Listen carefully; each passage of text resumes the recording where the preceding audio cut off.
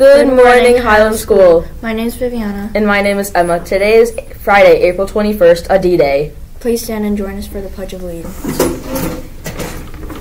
I pledge allegiance to the flag of the United States of America and to the republic for which it stands, one nation, under God, indivisible, with liberty and justice for all. Please remain standing for a mindful moment of silence.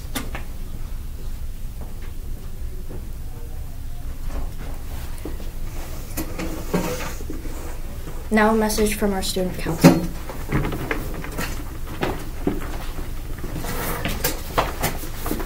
Highland School is collecting used sneakers to help both the environment and people of Turkey and Syria, who experienced terrible earthquakes earlier this year. Donations will be accepted now through April 28th. How can your old sneakers help the environment and the people of Turkey and Syria? Well, this might sound a little crazy, but a company called Got Sneakers will actually pay us money for used sneakers. Did you know that Americans throw out 200 million pairs of sneakers every year?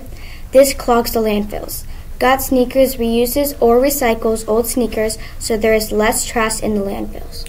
100% of the money we earn will be donated to help the people of Turkey and Syria rebuild and recover. So please look through your closets at home for any sneakers you no longer need.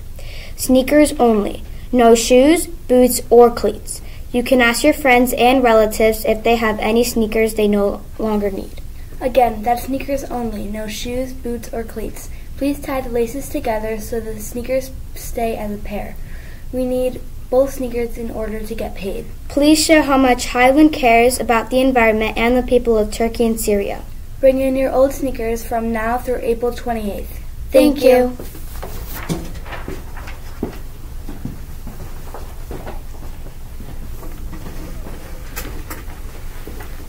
And now for the joke of the day. What kind of insect is always watching you? A spider.